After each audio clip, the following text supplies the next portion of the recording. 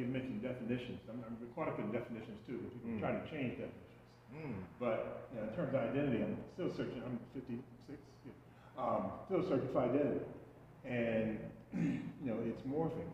And you know, the, be true to self. I got to be me, but who am I? You know, I'm not who I used to be. I guess so. My goal is to be who I was created to be. You know, so that's an eternal striving forward. You know, so again, expectations. You know, but again, sometimes you know, who am I answering to? Who am I? Who, who's looking up to me? Who, you know, is uh, putting demands on me? And you know, so just trying to balance all of that. But again, just okay, where am I supposed to be? What am I supposed to be? It's always that you to that aspect. Realistically, some people don't do that. Like certain stuff, you know. It's always life is gonna be life. Certain stuff always happen, but it's always like memories and things that people leave you with, like whether it be wisdom, thoughts, anything, and it. It comes at the most random time, and just it's there. So as a black man in our community, we're not supposed to be the ones crying. We're not supposed to be the ones to, you know what I'm saying, hug our moms. You know, we're supposed to be comforting our moms. Realistically, when we get older, we're supposed to be comforting our moms.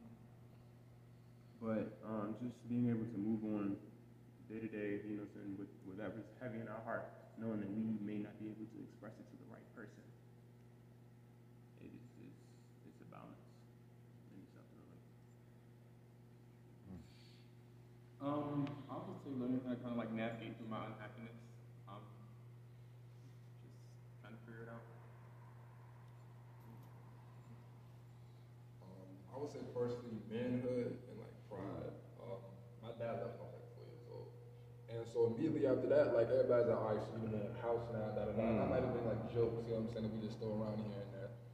But for me, I took that very seriously, you know what I'm saying. So like even to this day, like my way of like showing love is just protecting, you know what I'm saying, making sure everybody's alright. And life happens, you know what I mean. You can't protect everybody, you can't save everybody. Things is happening, you know, that's outside of your control. big to go because when I go to church, I cry. You know what I mean, and then I felt bad about it. I don't shout, I don't scream on the ear. My pastor said, "Yo, the one, the person that cries is somebody that God like God hear your tears." He mm-hmm. said, and they you were one of the first people that's looked at. So man, I was like, she's like, that's one of the highest forms that he look at is like unique. So I'm with you on that one. But, thank you to all y'all. Um, I do want to say one thing. Uh, kind of when I was thinking about that question number four, what does a healed community look like? Um, this is in my mind what I see. And so I, I want to find a way for us to make sure that we can continue to keep this going.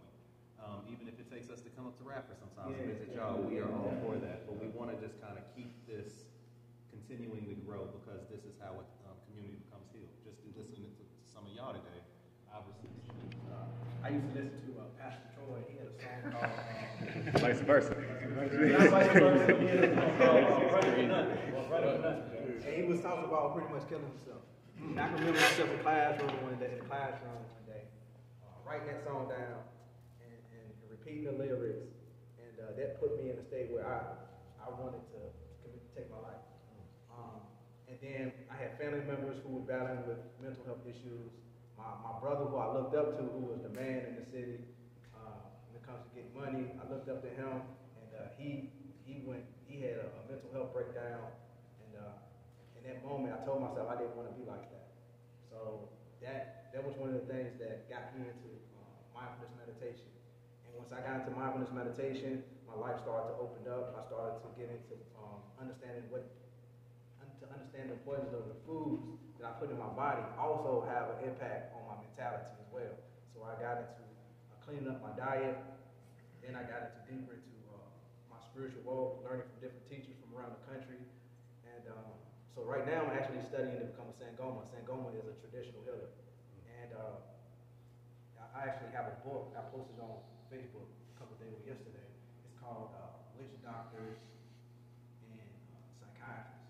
So, and this book was written by a particular MD, I forget his name, but he, he went around the, the world studying different uh, healers. And the, what the Europeans were doing was they, when they would go into Africa, they would put these labels on the healers in, uh, in, the, in, their, in their particular uh, in that particular tribe, and they would name these people witch doctors. Ho- However, the reality was they were they wasn't they wasn't uh, witch doctors because within that particular language, they, that wasn't part of their language. Um, so they, they, they had different types of titles. And, um, these were the therapists, these were the counselors. And, um, so now in my journey right now, I'm understanding in order for me to really deal with my mental health, I have to connect back to my roots and understand who I am as a black man in America and what does mental health mean to, to me and how my ancestors seen mental health.